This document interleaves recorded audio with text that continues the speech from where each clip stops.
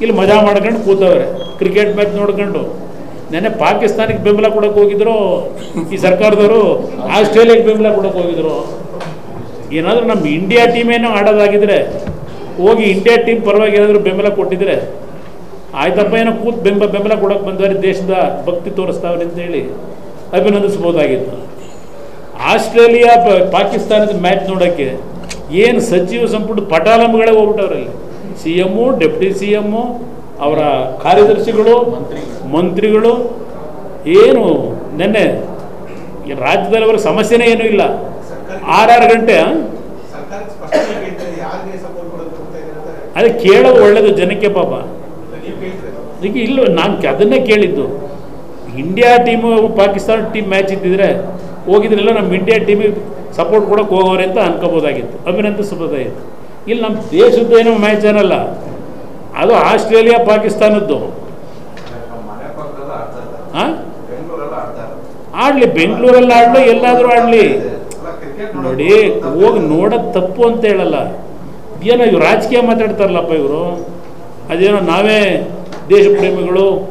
ಇದೆಲ್ಲ ಇರ್ತಾರೆ. ನಾನು ಯಾಕೆ ಹೇಳ್ತಾ ಇದ್ದೀನಿ ಅಂದರೆ, ಕ್ರೀಡಾಪಟುಗಳಿಗೆ ಬೆಂಬಲ ಕೊಡೋದಕ್ಕೆ ನಂದು ಬೆಂಬಲ ಇದೆ. ಇವತ್ತು ನಮ್ಮ ರಾಜ್ಯದ ಪರಿಸ್ಥಿತಿಗಳು ಏನಿದೆ? ಬರಗಾಲ ನೀವು ಹೇಳ್ತಾ ಇದ್ದೀರಿ. ವಿದ್ಯುತ್ ಶಕ್ತಿ ಸಮಸ್ಯೆ ನೀವು ಹೇಳ್ತಾ ಇದ್ದೀರಿ.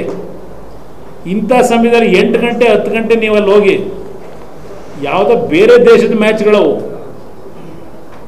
ಅದನ್ನು ನಾನು ಕೇಳ್ತಾ ಇದ್ದೀನಿ. ಅಷ್ಟೇ ಬೇರೆ ಏನಿಲ್ಲ ಪಾಪ, ಹೋಗಿ ತಪ್ಪು ಅಂತ ಹೇಳಲ್ಲ. ಇಲ್ಲಿ ಪ್ರತಿದಿನ ಕನಿಷ್ಠ ಏಳು ಗಂಟೆ ವಿದ್ಯುತ್ ನೀಡಲು ಆಗ್ರಹ ರೈತರು. ಪಾಪ ಇಲ್ಲಿ ಯಾರೋ ಒಬ್ಬ ರೈತ, ಮುದುಕ ಮಧ್ಯರಾತ್ರಿ ಕರೆಂಟ್ಗಾಗಿ ರೈತರ ಜಾಗರಣೆ. ಎಲ್ಲಿ ಕೊಪ್ಪಳ ಜಿಲ್ಲೆನಲ್ಲಿ ಮಧ್ಯರಾತ್ರಿಯಲ್ಲಿ ಈಗೆಲ್ಲ ನೆನ್ನೆ ಯಾವುದು ಟಿ ವಿಲಿ ಬೇರೆ ಬೆಳಗ್ಗೆ ಹೊಡಿತೀರೇನಪ್ಪ ನೀವೇ. ಮಸ್ಲೆ ಎಲ್ಲ ತಗೊಂಬರ್ತಾವ್ರಂತಲ್ಲ ಇಸ್ಕಾಂ ಕಚೇರಿಗಳ ಮುಂದೆ. ಹಾಂ? ಬಾಗಲಕೋಟೆನಲ್ಲಿ. ಮಸ್ಲೆ ಬೇರೆ ಹಿಡ್ಕೊಂಡ್ಬರ್ತಾವ್ರಂತಲ್ಲ ರಾತ್ರಿ ಟೈಮಲ್ಲಿ ಹೊಲಕ್ಕೆ ಬಂದು. ಇದು ಈ ರಾಜ್ಯದ ಪರಿಸ್ಥಿತಿ. ಅದಕ್ಕೆ ನಾನು ಹೇಳಿದ್ದು ಎಂಟೆಂಟು ಗಂಟೆ ಮ್ಯಾಚ್ ನೋಡೋಕೆ ನಿಮಗೆ ಟೈಮ್ ಇದೆ. ವಿದ್ಯುತ್ ಬರದ ಸುಳಿವು ನೀಡಿದ ಲಿಂಗನಂಬಕ್ಕೆ. ಇವತ್ತು ಒಂದು ಪತ್ರಿಕೆಯಲ್ಲಿ ಈಗ ಪವನ್ದ ಇದ್ರದ್ದು ಪರ ಕರೆಂಟ್ನೇ ಉತ್ಪಾದನೆ ಮಾಡ್ತೀವಿ.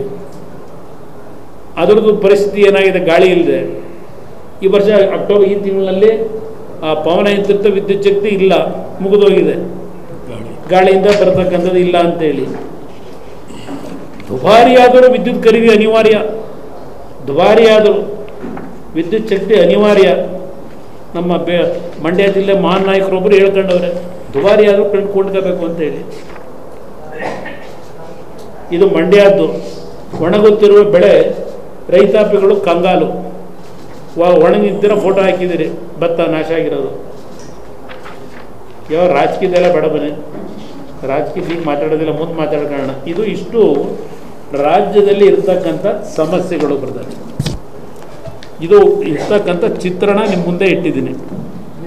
ಎಲ್ಲಿ ಸರ್ಕಾರ, ಇದೇನು ನಮ್ಮದು ಪುಣ್ಯದ ಪರ ಕೂಡ ಸರ್ಕಾರ ಅವ್ರದ್ದು ಪಾಪದ ಸರ್ಕಾರ ಅಂತ ಹೇಳೋ ಏನೋ ಮುಖ್ಯಮಂತ್ರಿಗಳು ಹೇಳೋರಲ್ಲ.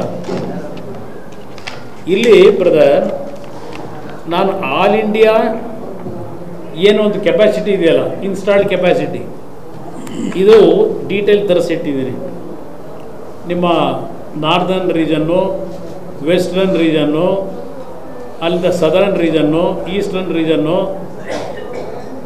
ಇದರದ್ದು ಎಲ್ಲ ಮಾಹಿತಿಗಳು ಆಮೇಲೆ ಅದು ಯಾವ್ಯಾವ ರಾಜ್ಯದಲ್ಲಿ ಇನ್ಸ್ಟಾಲ್ ಕೆಪಾಸಿಟಿ ಏನಿದೆ, ಇವತ್ತು ಇದೆಲ್ಲ ಮಾಹಿತಿಗಳನ್ನ ಇಲ್ಲಿ ಇದೆಲ್ಲ ಹೇಳಲಿಕ್ಕೆ ಹೋಗೋದಿಲ್ಲ ನಿಮಗೆ. ಸಮಯ ವ್ಯರ್ಥ ಮಾಡಲ್ಲ. ನಾನು ಈಗ ನಿಮ್ಮ ಮುಂದೆ ಬರ್ತಕ್ಕಂಥದ್ದು ಬ್ರದರ್ ನಾವೇನೋ ಹದಿಮೂರು, ಹದಿನೆಂಟರಲ್ಲಿ ವಿದ್ಯುತ್ ಶಕ್ತಿನ ಹನ್ನೊಂದು ಸಾವಿರ ಮೆಗಾವಾಟ್ಗೆ ಏರಿಕೆ ಮಾಡೋದು ಉತ್ಪಾದನೆನ ಅಂತೇಳಿ ನೆನ್ನೆನ ಮುಖ್ಯಮಂತ್ರಿಗಳು ಹೇಳಿದ್ದಾರೆ. ನಾನು ಇದನ್ನೇ ವಿಧಾನಸಭೆ ಕಲಾಪದಲ್ಲಿ ನಾನು ಚರ್ಚೆಗೆ ಅವತ್ತು ಅವಕಾಶ ಕೇಳಿದ್ದು. ಮುಂದೆ ಆಗ್ತಕ್ಕಂಥ ಪರಿಸ್ಥಿತಿಗಳಿಗೆ ಎಚ್ಚರಿಕೆ ವಹಿಸ್ಕೊಳ್ಳಿ ಅನ್ನೋದಕ್ಕೆ. ನಿಮ್ಮ ಮುಂದೆ ಇಡ್ತೇನೆ ಮಾಹಿತಿಗಳನ್ನು. ಬೇಕಾದ್ರೆ ನಿಮಗೆ ಒಂದು ಜೆರಾಕ್ಸ್ ಕಾಪಿನೂ ಕೊಡ್ತೀನಿ.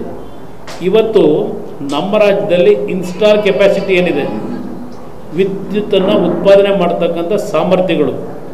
ಯಾವ ರೀತಿ ಇದೆ ಅನ್ನೋದಕ್ಕೆ ಜಲವಿದ್ಯುತ್ ಸಾಮರ್ಥ್ಯದಲ್ಲಿ ಹೈಡ್ರೋ ಪವರ್ದು ಮೂರು ಸಾವಿರದ ಒಂಬೈನೂರ ಆರು ಪಾಯಿಂಟ್ ಆರು ಮೆಗಾವ್ಯಾಟು